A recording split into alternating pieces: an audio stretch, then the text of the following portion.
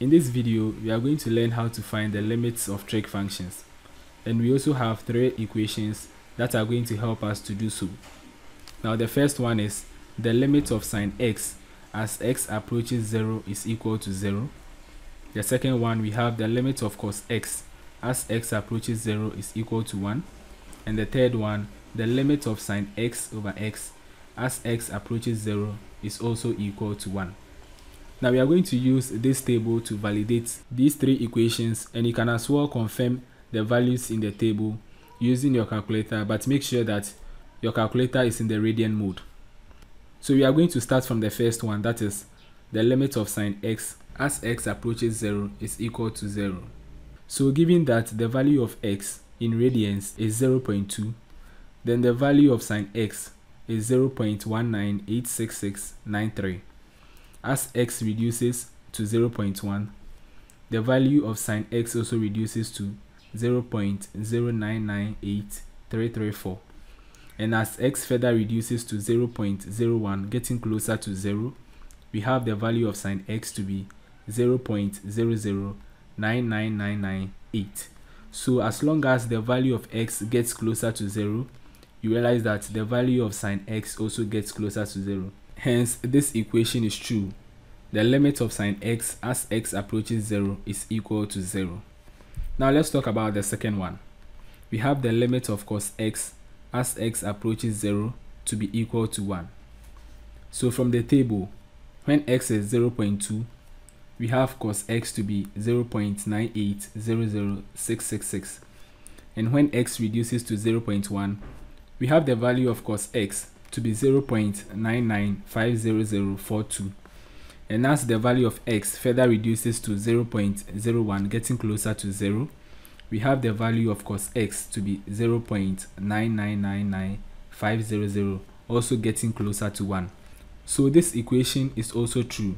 The limit of cos x as x approaches 0 is equal to 1 now let's talk about the third one that is the limit of sine x over x as x approaches 0 is also equal to 1. So when x is equal to 0.2, we have sine x over x to be 0.9933467. And then as the value of x reduces to 0.1, we have sine x over x to be 0.9983342. And then as x further reduces to 0.01, we have the value of sine x over x to be 0.9999833. So that makes this equation also true that as x approaches 0, the value of sine x over x also approaches 1 or is equal to 1. So based on these three equations, we are going to solve some examples on how to find the limits of trig functions. So for the first example, we are going to find the limit of sine 3x divided by x as x approaches 0. Now because we have 3 here, we are going to multiply both the numerator and the denominator by 3. So we have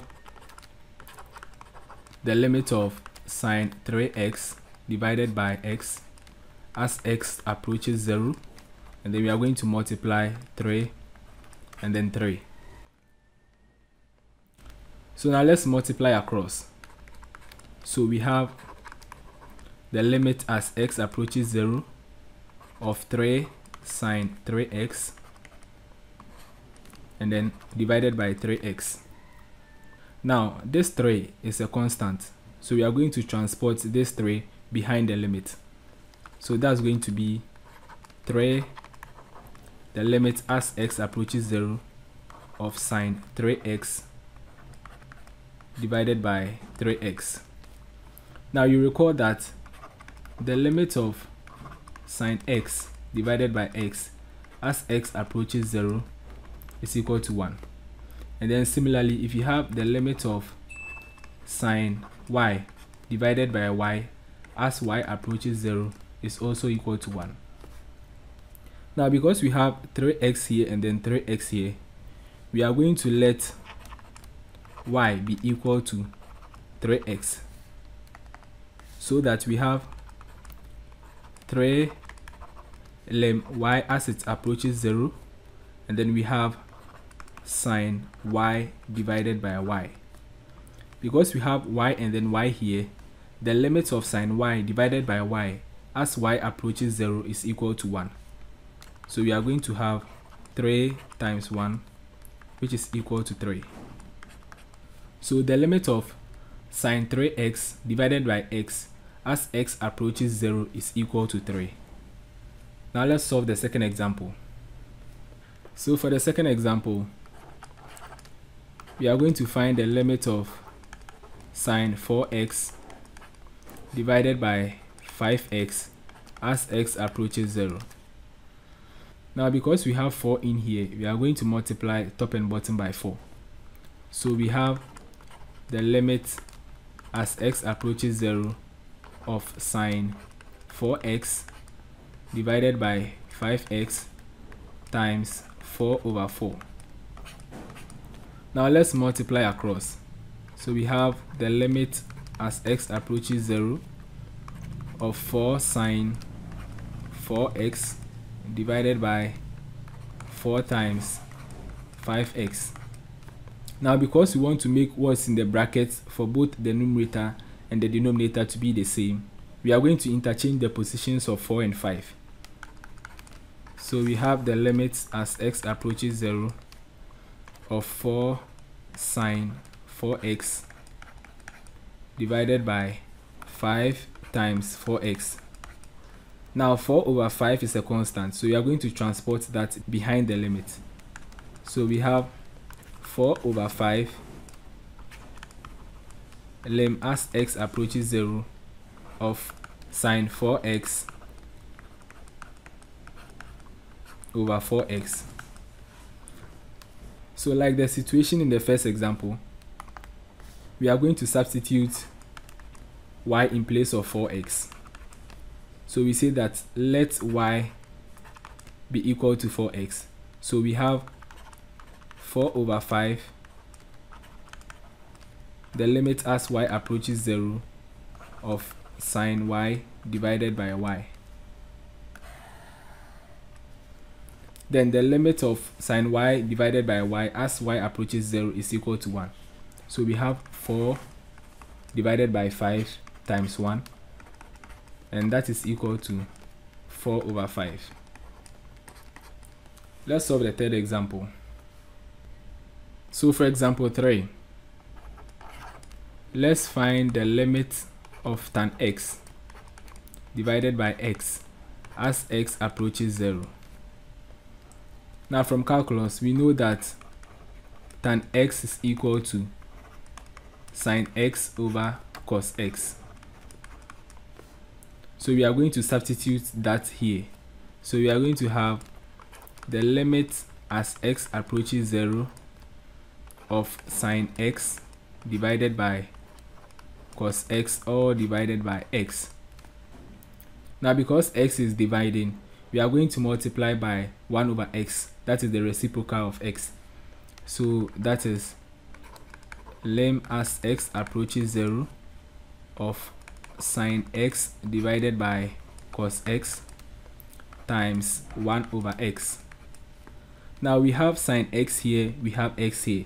So we are going to interchange the positions of x and cos x so that is going to be the limit as x approaches 0 of sine x divided by x times 1 over cos x.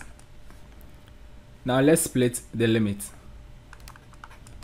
So we are going to have the limit as x approaches 0 of sine x divided by x multiplying the limit as x approaches 0 of 1 over cos x.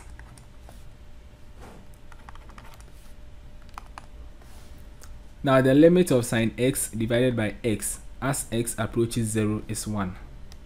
So we have 1 multiplying and then you recall that the limit of cos x as x approaches 0 is equal to 1. Then the limit of 1 over cos x as x approaches 0 is equal to 1 over 1 because the limit of cos x as x approaches 0 is 1 So 1 over 1 is equal to 1. So here we are going to have 1 times 1 which is equal to 1. So the limit of tan x over x as x approaches 0 is equal to 1. So for example 4, we are going to find the limit of x over tan 5x as x approaches 0. We know tan x is equal to sine x over cos x. So tan 5x is equal to sine 5x over cos 5x. So let's substitute that here. So we have the limit as x approaches 0 of x divided by sine 5x over cos 5x. So that's going to be the limit as x approaches 0 of x over 1 times cos 5x divided by sine 5x. Now let's interchange the positions of sine 5x and then 1. And at the same time, let's multiply top and bottom by 5. So that's going to be the limit as x approaches 0 of x divided by sine 5x times cos 5x divided by 1 times 5 over 5. So we are going to multiply 5 across. So that is the limit as x approaches 0 of 5x divided by sine 5x times cos 5x over 5.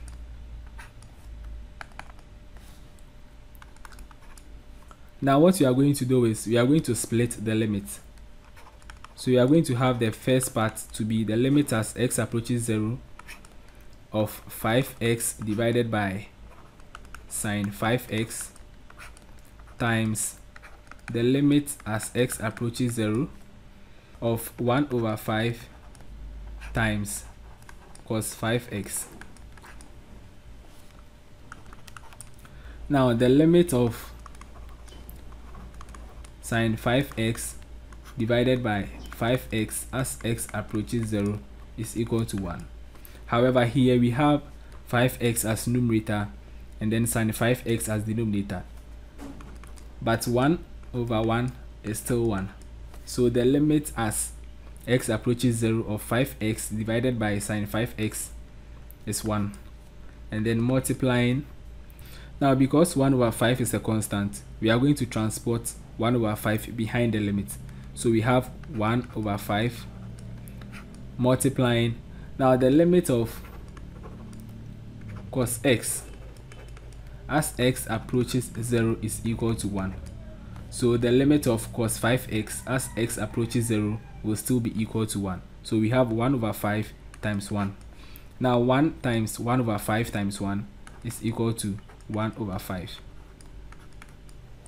So for the last example, we are going to find the limit of sine 3x divided by sine 8x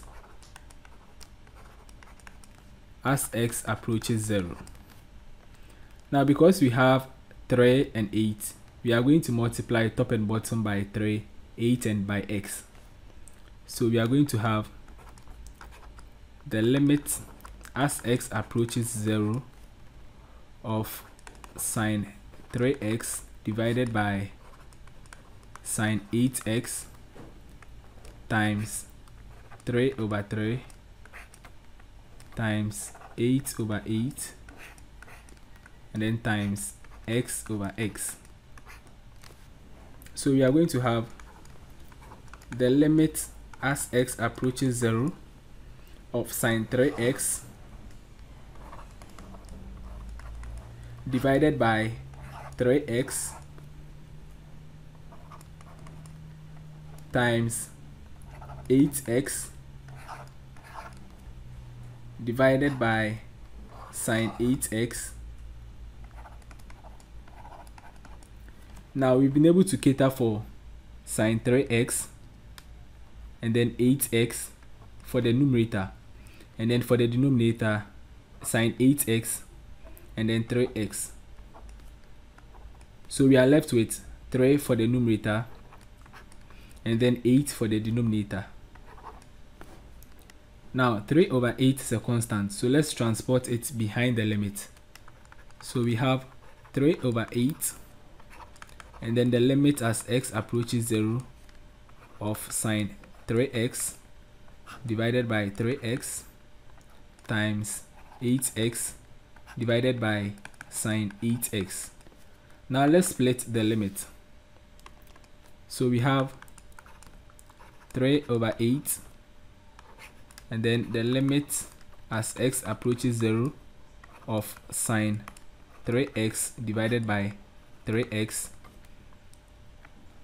times the limit as x approaches 0 of 8x divided by sine 8x.